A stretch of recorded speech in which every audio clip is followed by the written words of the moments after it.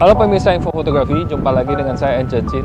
Kali ini saya bersama Isan sedang berada di Jepang dan kami baru turun dari stasiun dan ingin jalan ke Naruko Gorge di mana kita ingin melihat warna-warna daun di musim gugur yang berubah warna dari uh, hijau menjadi kemerahan.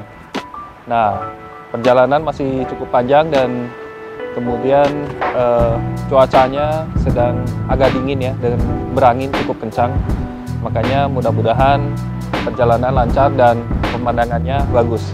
Jadi kita bisa sharing foto-fotonya selama di sini. Saya hari ini bawa gear yang cukup simple ya, cuma bawa dua compact saja dan tidak bawa tripod. Jadi karena banyak jalan ya, jadi kita harus menjaga stamina. Oke, yuk ikuti saya.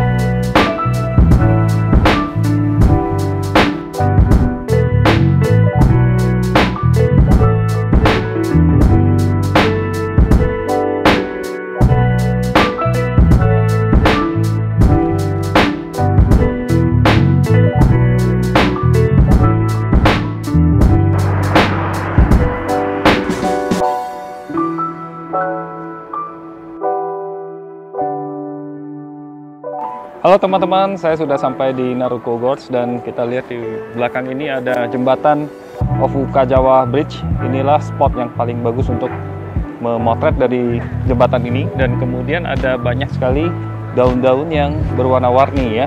Jadi musim yang sangat tepat untuk memotret di sini. Nah, saya akan keliling-keliling bersama Isan. Wah, anginnya kencang sekali ya. Uh, akan berkeliling-keliling di sini di akan ke jembatan itu dan kita lihat pemandangan apa yang kita bisa dapatkan di sana. Oke, yuk.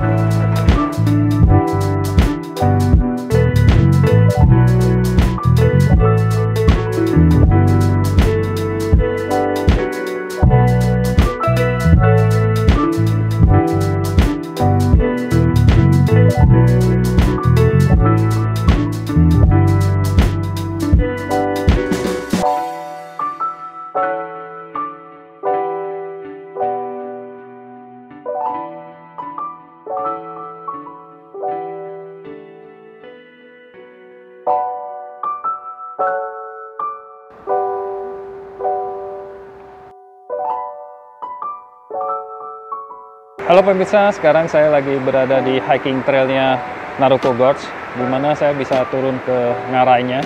Nah, di sini saya ketemu suatu sungai kecil dan kemudian ada sedikit air terjun di sini. Dan saya ingin foto suasananya, tapi saya tidak memiliki tripod ya, saya nggak bawa tripod yang besar. Tapi untungnya trip, eh, si Isan bawa tripod yang kecil, yaitu flexible Migo tripod. Di sini saya bisa taruh di tiang-tiang di pagarnya ini Nah, tujuannya supaya saya bisa foto slow speed. Nah, untuk bi bisa bikin foto slow speed, kita harus menggunakan satu speed yang lambat. Nah, untuk itu kameranya harus stabil dan kemudian juga kita perlu filter ND.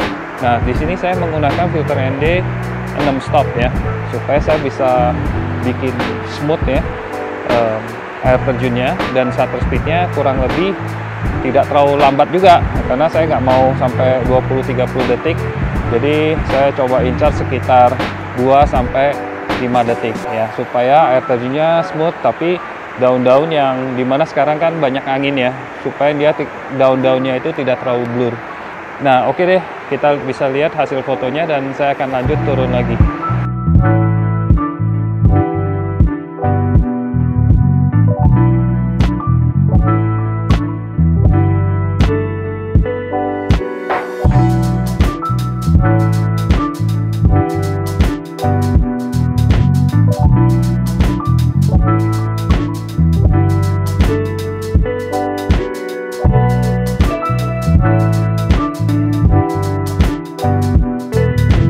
Ya pemirsa, sekarang saya sudah selesai motret di daerah sini, Naruko Gorge.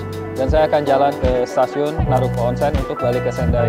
Mudah-mudahan video ini bermanfaat bagi teman-teman, terutama yang suka travel fotografi. Sampai jumpa lagi di kesempatan yang lain. Bye.